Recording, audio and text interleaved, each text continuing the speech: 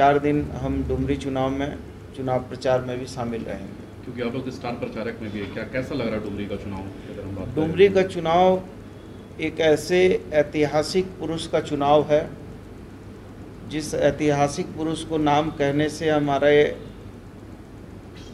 शरीर में रोए खड़े हो जाते हैं। जब कोई सैनिक सेना में भर्ती होता है तो उसकी इच्छा होती है कि वो माँ भारती के लिए अंतिम सांस तक लड़े।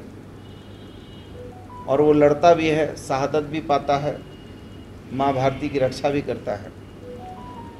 वैसे ही स्वर्गीय जगन्नाथ बाबू एक ऐसे जनप्रतिनिधि, जिस जनप्रतिनिधि का लंग्स काम नहीं कर रहा हो, और जिनको गहन चिकित्सा कक्ष में रहने की वरीय चिकित्सकों की हिदायत हो और जो जो ज़िंदगी और मौत से जूझ रहे हों, लेकिन इसकी परवाह किए बिना बिना चिंता किए हुए हर पल अपनी जनता के लिए समर्पित रहने वाले व्यक्ति को मैं ऐसा ही पुरुषार्थ वाला व्यक्ति कहूँगा, जैसे हमारे सैनिक पुरुषार्थ दिखाते हैं।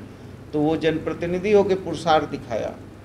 और हमको इस बात का गर्व है कि अंतिम सांस तक उस आदमी ने अपने जनता का लिए जान दिया है।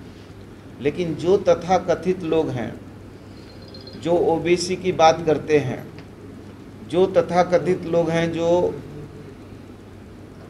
कुर्मी की बात करते हैं विशेष करके, उन लोगों से पूछिए कि क्या जगन्नाथ महतो जैसा व्यक्ति जिसने मौत को गले लगाया जानकर, क्योंकि उसको जनता प्यारी थी, उसने अपनी चिंता नहीं किया और मौत को गले लगा लिया जनता की रक्षा के लिए, जनता की सेवा के लिए। अब वो लोग जो हैं, सुदेश में तो जैसे लोग, जिनके नेतृत्व में 27 परसेंट आरक्षण को भी तोड़ा गया। द्रौपदी का चीरहरण हो रहा था भीष्म पितामह जो है देख रहे थे। बाबूलाल जी ओबीसी का आरक्षण तोड़ रहे थे और सुदेश जी उसी सरकार के मज़बूत पार्टनर थे।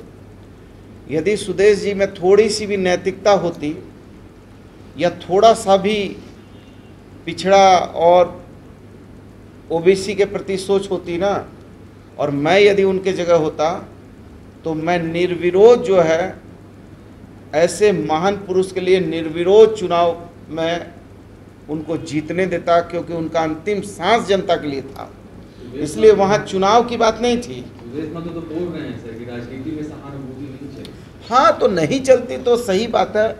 तो फिर वो किस सहानुभूति की लहर के पीछे दौड़ रहे थे? किस सहानुभूति की लहर के लिए वो जान प्राण दे रहे थे?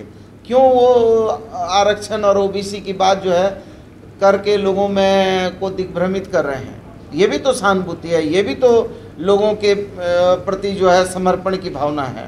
टफकॉन XT 600 HCR TMT रिबा पहले भी बोला था अगर घर को बनाना है एक्स्ट्रा टफ तो आप भी दिखा सकते हैं अपनी हीरोपंती टफकॉन एक्सटी के साथ।